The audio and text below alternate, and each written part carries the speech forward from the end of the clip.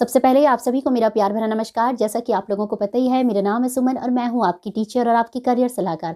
प्यारे बच्चों, ये वीडियो बहुत ही महत्वपूर्ण उन सभी अभ्यर्थियों के लिए जो 2024 में दिल्ली यूनिवर्सिटी से बीएड करने का सपना सोच रहे थे। तो अब आपका लंबा इंतज़ार खत्म हुआ। यूनिवर्सिटी ने अपनी ऑफिशियल वेबसाइट पर जो पीडीएफ है इन्फॉर्मेशन बुलेटिन का, उसे जारी कर दिया गया है।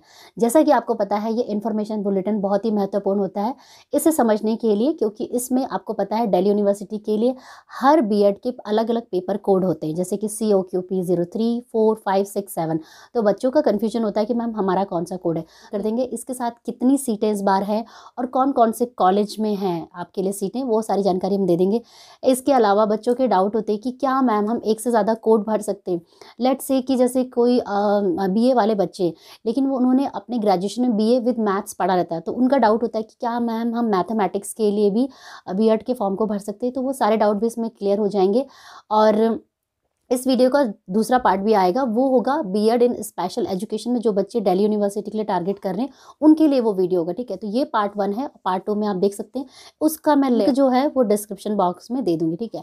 तो चलिए स्टार्ट करते हैं आज का वीडियो और जान लेते हैं डेली यूनिवर्सिटी के दो हज़ार चौबीस के बी के लिए क्या एलिजिबिलिटी क्राइटेरिया किस तरीके से आपने स्टेप बाय स्टेप जाना और ध्यान से अपना जो पेपर कोड है उसका कैसे सिलेक्शन करना है। तो स्टार्ट करते हैं अपना आज का वीडियो बाकी किसी को कोई करियर हेल्प चाहिए डायरेक्टली फ़ोन पर बात कर सकते हैं जिसकी फ़ीस होती है वन नाइन्टी नाइन रुपीज़ मेरी टीम को आप कनेक्ट कर सकते हैं। तो चलिए बच्चों स्टार्ट करते हैं। तो प्यारे बच्चों, ये है वो पीडीएफ जो कि दिल्ली यूनिवर्सिटी ने अपनी ऑफिशियल वेबसाइट पे जारी कर दिया है। जैसे कि आप देख सकते हैं बिल्कुल सामने, post graduation admissions academic session 2024 to 25 university of Delhi, ठीक है? तो ये वो पीडीएफ है जो कि आप मेरे टेलीग्राम चैनल से भी ले सकते हैं और इसी में आपको डिटेल जानकारी, आपको बी के कोर्स को क्या है, कौन सा कोड भरना है, क्योंकि हमेशा की तरह बच्चों को कोड का कन्फ्यूज़न रहता है। इस साल जो कोड है वो है C O Q P zero three four five six seven. तो आप देख सकते हैं बहुत लंबा पीडीएफ है, हम डायरेक्टली चले जाएँगे जाएँगे seventy one page to seventy three. क्योंकि सेवेंटी तो देखिए, सबसे पहले तो बैचलर ऑफ़ एजुकेशन जैसे कि आपको पता ही है, इसमें बताने की कोई ज़रूरत नहीं हमें। इसमें पढ़ लेते हैं और समझ लेते हैं, ठीक है? The programme specific eligibility for B Ed comprises category one A one B one C and para number two इस पर ध्यान हमें देना है, बस ये हमको बेड़ा पार लगाएगा, ठीक है? For admission to bachelor of education the candidate must fulfil the programme specific eligibility and appear in the respective C T paper refer to P G C U T समट this this this देखिए, सबसे पहले तो वो बोल रहा है कि आपका bachelor degree from recognised university से होना चाहिए, ठीक है? या अगर आपका बैचलर नहीं है तो मास्टर डिग्री भी चलेगा और जो बच्चे इंजीनियरिंग वगैरह के हैं, वो भी इसमें पार्टिसिपेट कर सकते हैं, ठीक है? लेकिन उन्होंने एक बात साफ़ साफ़ बोली है कि जो बच्चे लॉ के हैं और जो मैनेजमेंट वाले बच्चे हैं ना, वो दिल्ली यूनिवर्सिटी को फॉर्म नहीं भर सकते। ये उन्होंने बोला है और नीचे भी लिखा है, वो मैं आपको बाद में बताऊँगी, ठीक है? तो इसमें फिफ्टी मार्क्स आपके ग्रेजुएशन में आपके होने चाहिए।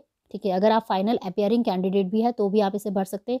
फोर्टी फाइव परसेंट मार्क्स इन्होंने बोला है जिन बच्चों का एस सी एस टी और फिजिकली जो चैलेंज बच्चे हैं, उनके लिए फोर्टी फाइव परसेंट मार्क्स है, बाकी जनरल के लिए फिफ्टी परसेंट मार्क्स बाकी जिन्होंने टेक्निकल एजुकेशन लिया बी टेक इत्यादि के बच्चे तो उनके लिए फिफ्टी फाइव परसेंट मार्क्स होने चाहिए और U O B C E W S category के लिए फिफ्टी परसेंट मार्क्स यहाँ पे दिए, ठीक है। तो ये तो बात हो गई एजुकेशन क्वालिफिकेशन और परसेंटेज की। अब बात करते हैं अब कोड की। भाई ये कोड में क्या चक्कर है? तो आप देख सकते हैं यहाँ पे C O Q P zero six है, ठीक है? पी ज़ीरो सेवन है पी ज़ीरो फाइव है और उसके बाद फोर है, थ्री है। बट समझने वाली बात तो ये कि हमारा कोड कौन सा और हमें कौन सा भरना है। तो देखिए, उसके लिए गाइडलाइन दी है ये, इसे पढ़िए ध्यान से। वो ये कह रहे हैं कि C U E T paper the candidate will have to choose only one C U T paper only one यानी कि आपने एक सी पेपर चूज़ करना है इन विच ही और शी विल परस्यू हिज और her subject category and teaching subject तो वो कह रहे हैं कि आप अपने सब्जेक्ट कैटेगरी और टीचिंग सब्जेक्ट को परस्यू करेंगे, लेकिन उसके लिए आपने एक ही जो पेपर है, कोड है, उसे चूज़ करना है। तो उसके लिए भी गाइडलाइन क्या लिखी है? He she must have studied one teaching subject in the qualifying degree bachelor of degree और master degree for at least two hundred marks और एटलीस्ट ट्वेल्व क्रेडिट अब देखिए, यहाँ पे समझिए आप, वो ये क्या कह रहे हैं कि जो बच्चे, मान लीजिए कि जो भी बच्चे इसमें कोड भरेंगे तो कोड भरते समय ज़ाहिर सी बात है कि भाई उस सब्जेक्ट बीएड करने के लिए क्या चीज़ें हो चाहिए होती? बीएड करने के लिए चाहिए होते कि ग्रेजुएशन में आपने जो सब्जेक्ट पढ़े होते, वही सब्जेक्ट आप बीएड में जाके एज अ टीचिंग सब्जेक्ट पढ़ते हैं। तो मतलब कि उसके आप आने वाले भविष्य में टीचर बनेंगे। तो वो ये कह रहे हैं कि जो बच्चे जिस कोड को भरेंगे, वो ये ध्यान रखें कि कम से कम वो सब्जेक्ट उन्होंने अपना ग्रेजुएशन में पढ़ा होना चाहिए और 200 नंबर का पढ़ा होना चाहिए।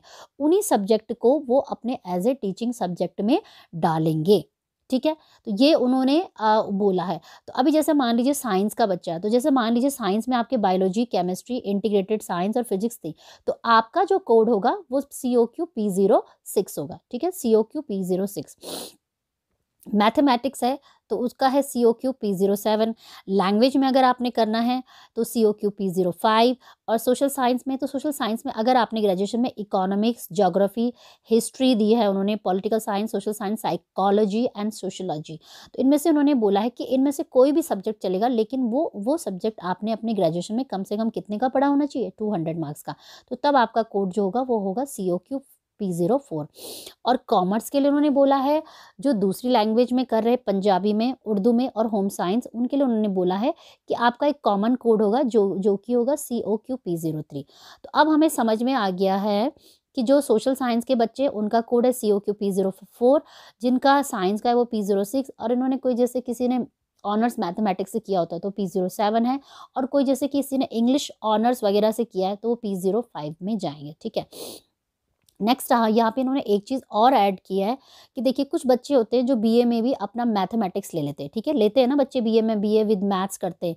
तो उनके लिए उन्होंने क्या बोला है?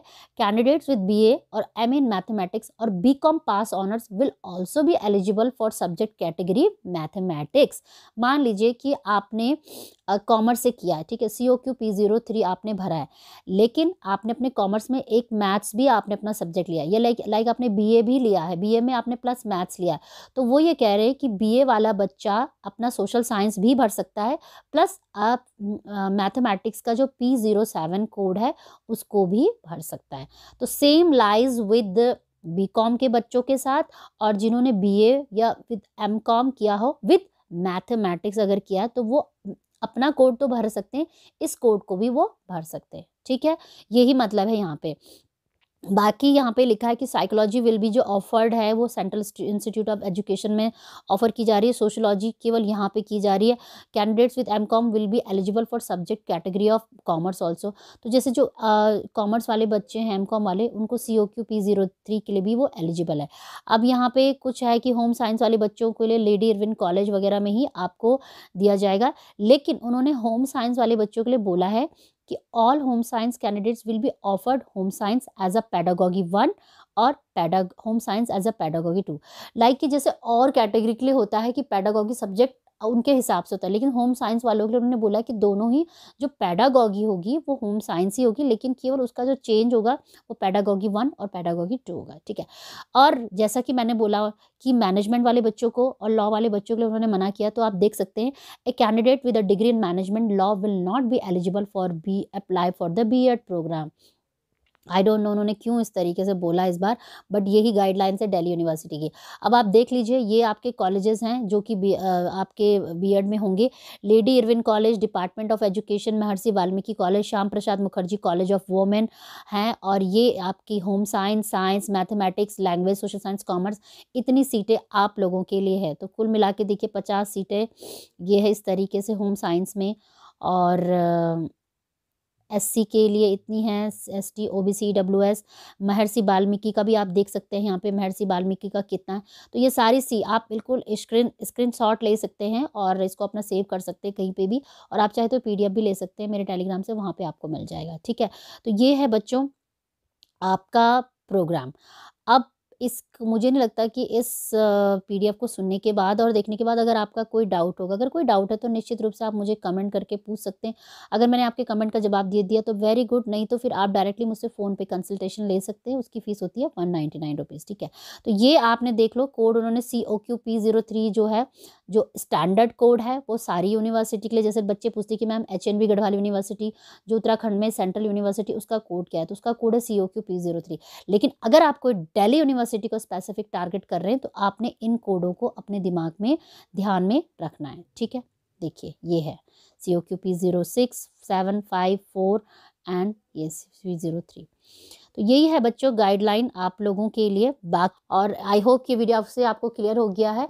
और किसी को डायरेक्ट कंसल्टेशन चाहिए तो कांटेक्ट कर सकते हैं मेरी टीम को विल दे आपको रिवर्ट करेंगे। तो वीडियो देखने के लिए बहुत बहुत धन्यवाद। मिलेंगे मेरे कुछ नए अच्छे इंटरेस्टिंग वीडियो के साथ, तब तक के लिए जय हिंद, जय भारत। धन्यवाद। सत्यमेव जयते, धन्यवाद। जय हिंद।